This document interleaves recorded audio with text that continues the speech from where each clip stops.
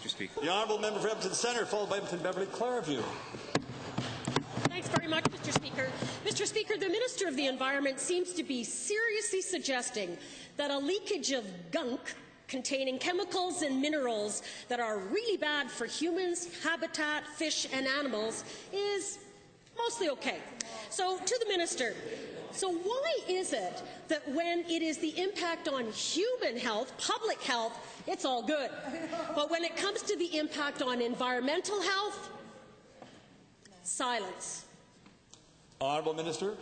Well, Mr. Speaker, there certainly isn't silence. We have been on this file right from day one, making sure, first and foremost, human health is protected and that humans are notified, as I have said, about the drinking water. We are taking samples each and every day, and we continue to do that, and making sure that the habitats, the fish, the wildlife, are taking samples as well. As I said a week ago in the House, Mr. Speaker, at that time, we had only seen one dead fish at that time. We continue to monitor the situation. Mr. Speaker, we will continue to do this into the spring as well. We take human health very serious, and we take the environment of the habitat and the fish and wildlife very serious, Mr. Honourable Speaker. member.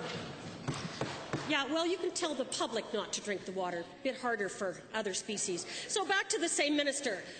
What is the minister's acceptable level of risk when it comes to coal toxins sludging their way along a river?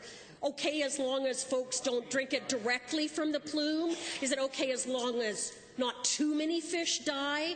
What is your acceptable level of risk here? Honourable uh, Minister.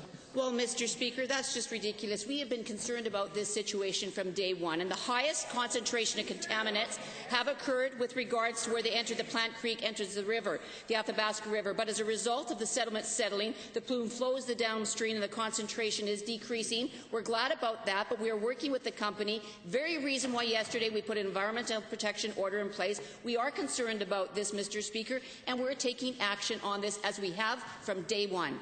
Honourable member. Well, thanks very much, Mr. Speaker. Back to the same minister.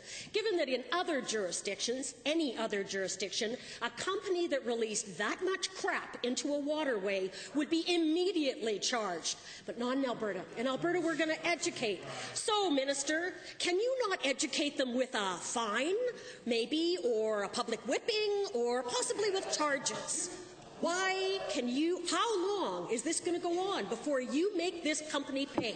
And who's going to pay for the cleanup? Honourable Minister. Good Well, question. thank you, Mr. Speaker. And to answer her last question first, uh, the company obviously pays for the cleanup. And, Mr. Speaker, we make sure that we have an investigation, as I also said in the House on the first day. The investigation must be held. We make sure that the com company is companies are held responsible, Mr. Speaker, and we have acted on that right away. We have the environmental protection in order, but that we put that in yesterday, but we have been working with them all the way because they will be held responsible. We're very concerned about this, and as I've said over and over and will continue to say, we're taking action, we'll continue to take action, and the company will be held responsible once the investigation is complete.